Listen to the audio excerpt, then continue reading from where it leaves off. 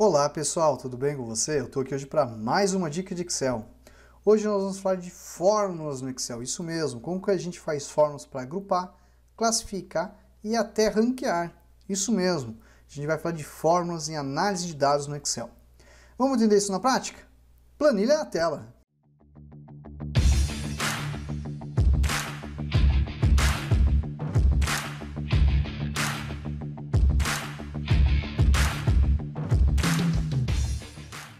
Bom, pessoal, olha a nossa planilha aí. Nessa planilha, pessoal, a gente vai falar um pouquinho de agrupar dados, de classificar e de ranquear. Para isso, vamos utilizar a planilha 1, onde eu vou explicar para você aqui uma situação bem interessante. Aqui nós temos uma tabela didática bem simples, onde nós temos aqui, pessoal, alguns vendedores, né? E esses vendedores têm as suas vendas lançadas e nós colocamos aqui um período só para ficar de modo visual um pouco mais fácil o entendimento e a compreensão sobre o assunto ok? E aí o que acontece? Nessa tabela base nós temos depois um lançamento do mês de fevereiro, de março, ok? Ó, abril, maio, né? Maio não, até abril, tá? E aí nós temos algumas situações. Imagine que teu chefe pediu que você crie tabelas onde vai analisar esses dados, por exemplo, para agrupar esses dados, quantificar esses dados, ou por exemplo, fazer um ranqueamento, como que ele pode fazer? Ou ainda fazer toda a etapa de classificação. Como que a gente faz tudo isso? É isso que você vai aprender. Repare que aqui nós temos já os exemplos, ó, uma tabela ó, com o total de vendas por vendedor. Nós temos depois aqui ó, a classificação desses valores do maior para o menor. E depois aqui uma brincadeira, ó, posso colocar 5, 3, 2, fazer uma classificação dos resultados, tipo um ranqueamento. Olha que bacana. Então vamos lá. Primeira dica que eu vou dar para você é o seguinte. Está vendo essa tabela aqui? Ó? Eu vou copiar ela e lançar numa planilha nova. Tá? Vamos colocar ela aqui, ó, bonitinho. Tá bom? E nessa tabela a gente quer agora, por exemplo, trazer os vendedores. Ok? Imagine que os dados estivessem desorganizados, não tivesse nada né, é, ordenado. Como que ficaria? Ficaria meio bagunçado. Né? Então, um modo que você pode fazer é o seguinte, você utilizar a função único no Excel, onde você vai pegar essa coluna de vendedor, ó, do início até o fim, ó, selecionou. Fecha, ao dar o Enter, repare que ele trouxe ó, o vendedor e o nome de cada um dos vendedores, ok? Ó, para você. E aqui ao lado você vai ter o valor. Esse valor basta você fazer o quê? Um soma C, né? Ó, soma C, ó, Vou pegar aqui o nosso intervalo, que vai ser a coluna B, poderia ser a coluna de vendedor, tá? Mas vou pegar a coluna B que fica mais fácil. Passar o nosso critério e depois a coluna C de valor. Se a gente fazer isso, a gente já tem aqui ó, a primeira resolução. Qual resolução? A gente trouxe ó, a análise dos dados, ok? Ó, trazendo o vendedor e o seu respectivo valor, agrupando e consolidando esses valores. Ok? Ó, ó lá. Só que o teu chefe, ele quer ainda que você classifique isso. Como que você classificaria essa tabela? Se nós utilizarmos a função classificar, olha só, a função classificar, eu vou pegar a matriz, que é essa tabela, ponto e vírgula, qual que é o índice de classificação? 2, porque é a coluna 2 que eu vou analisar. Ponto e vírgula, a ordem, eu vou pegar descendente, ó, menos 1, ao fechar parênteses e dar Enter, repare que eu tenho uma tabela agora classificada, do maior para o menor. Bacana, né? E você imaginando que seria um bicho de sete cabeças. E você deve estar pensando, puxa, dá para aplicar tudo numa única fórmula? Dá, dá sim. Vai todo o teu nível de conhecimento do que você realmente conhece e trabalha com Excel para aplicar tudo isso numa única fórmula. Entretanto, como eu falei, vai de conhecimento e muitas vezes você vai pegar esse conhecimento onde? É pesquisando na internet, mas às vezes a gente acaba perdendo mais tempo, em livros, ou ainda consultando né, a ajuda do Excel, ou por fim nos cursos. E falando em curso, deixe-me apresentar você. Eu sou o professor Michel, responsável pelo curso de Excel Online.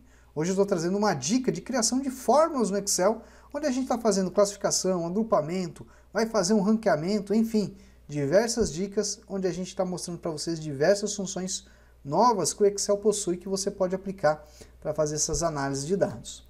Agora, que tal aprender mais? Isso mesmo, aprender mais, obter mais conhecimento. Que tal conhecer o curso? Link fixado no primeiro comentário, www.cursodeexcelonline.com. Nosso curso aprende isso e muito mais, além de contar com o meu apoio para te ajudar a aprender Excel.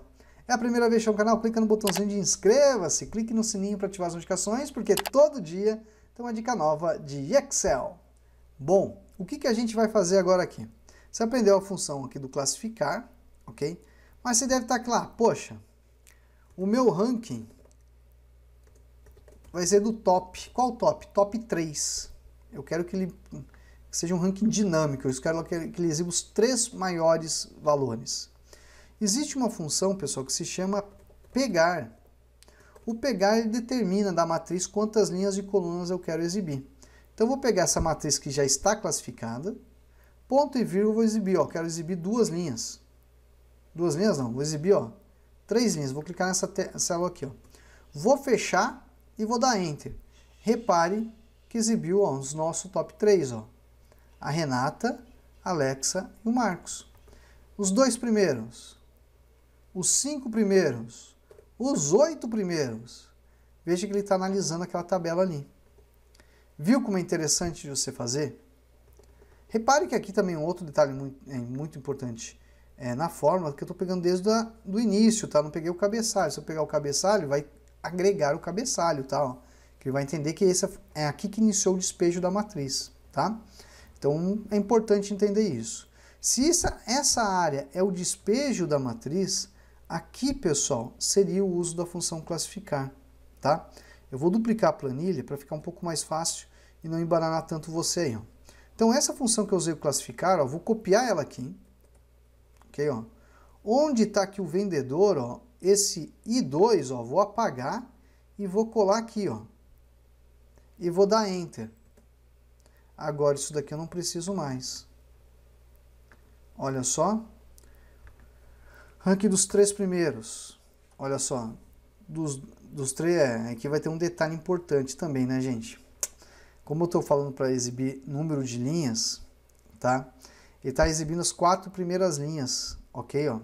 Então, se eu colocar minha matriz aqui para iniciar no F3, F3, ó, fica mais assertivo, tá? Ó. Ok? Ó, eu vou pegar, fazer o seguinte, vou pegar ela, vou arrastar aqui para baixo, ó. E aí eu deixo o vendedor aqui e o valor aqui. Pronto, lá. Os cinco primeiros, os três primeiros, lá, os oito primeiros, e assim sucessivamente. Bacana, né? Então isso daqui, pessoal, é um exemplo didático, bem simples, né? De como que você pode criar é, com as fórmulas do Excel é, tabelas de análise. E essas análises podem te ajudar e muito no dia a dia de vocês. Vou fazer uma outra brincadeira aqui, ó. Essa tabela toda aqui, ó, eu vou copiar os nomes novamente, ó. Ctrl C, vou vir aqui, eu vou dar um Ctrl V. Vou agregar um abril, maio, ok, ó. Vou colocar aqui e vou colocar agora lançar valores, ó. Vou lançar aqui, ó, mil para todo mundo. Ctrl C, vou colar aqui, ó. Olha o que aconteceu. Já agregou, já fez a atualização aqui. Então, se eu pegasse o Pedro aqui e colocasse, ó, 4 mil, olha só. O Pedro já foi, ó, o nosso novo top one, né? Já agregou essa informação lá. Então, a tabela ela vai sendo atualizada é, conforme você montou na tua forma o despejo desses dados. Aqui eu fiz uma tabela que alguém poderia entender que seria de é, uma tabela auxiliar, onde eu fiz a unificação, e aqui ao lado nós temos a classificação juntamente com o ranking, que você consegue agora ó, falar quantos valores você quer exibir. Então, estou exibindo os valores aqui ó, do nosso ranqueamento. E tudo isso ficou de modo dinâmico. Isso que é importante de dizer. Então, você imagina que seria um bicho sete cabeças? Não é um bicho sete cabeças, é tudo questão de conhecimento no uso do Excel que te permite né, é, você criar esse tipo de solução. Outra solução interessante aqui, ó, se eu fizesse um gráfico, gente, tá, ó, vamos mudar agora aqui, ó,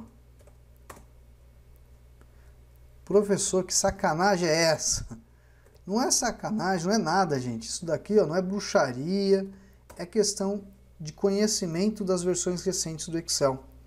Então, o gráfico aqui criado, ele foi criado usando essa matriz dinâmica que faz o despejo, e nesse despejo de dados, o gráfico segue o limite que foi estabelecido do despejo de seus valores. Então, se eu falei, ó, despeja cinco valores aqui, despejou cinco valores. Esse é o intervalo para a criação do gráfico. E o gráfico acompanha aquela análise. Bacana, né? E você deve pensar, poxa, mas eu poderia fazer tudo isso com tabela dinâmica. Eu concordo. Mas se tiver uma infinidade de dados, o processamento do uso dessas formas é muito mais rápido que os recursos de tabela dinâmica hoje. E isso está presente nas versões do Excel 365, 2021 e 2019.